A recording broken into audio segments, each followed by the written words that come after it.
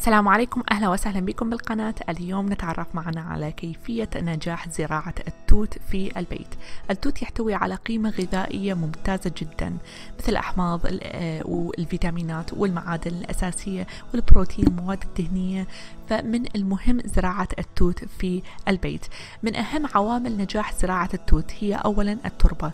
نحتاج لتربة خفيفة صفراء ذات التهوية الجيدة ولا تنجح زراعة التوت في التربة الطينية التي تحافظ على رطوبتها بشكل دائم.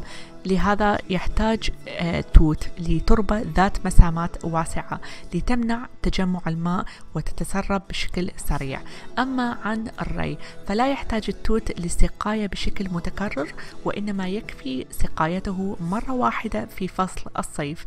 أما عن درجة الحرارة فدرجة الحرارة المثالية لزراعة التوت هي ما بين 30 إلى 35 والحد الأقصى للحرارة هو 42 أما عن طريقة زراعته فهناك ثلاث طرق أساسية.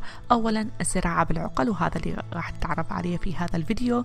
الزراعة بالعقل هو أكثر طريقة لزراعة التوت أكثر انتشارا ويمكن اتباعها في الحدائق المنزلية. أما عن الطريقة الأخرى فهي الزراعة بالبذور والطريقة الثالثة هي الزراعة بالتعطيم.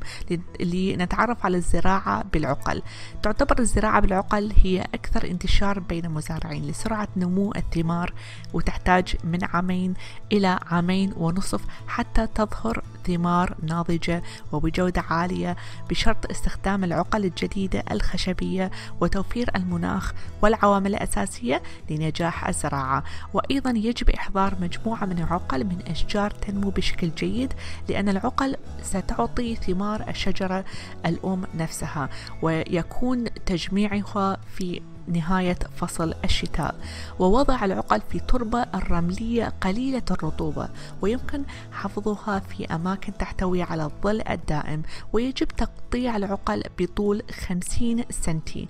ووضعها بالحقل المناسب بعد تجهيزه ويجب أيضا أن يكون ربع العقلة داخل التربة وتبعد كل عقلة عن الأخرى مسافة 20 سنتي للحصول على محتويات التربة الكاملة وتجنب التنافس على عناصر الغذائية للتربة.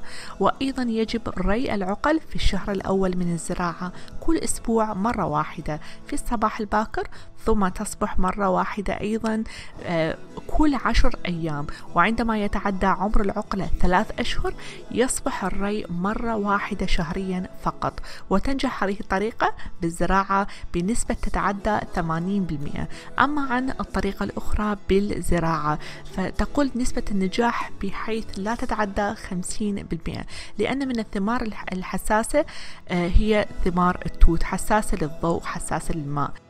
قد وصلنا إلى نهاية الفيديو. إذا عجبكم المحتوى اشتركوا في القناة فعلوا الجرس وأراكم إن شاء الله في فيديو لاحق. مع ألف سلامة.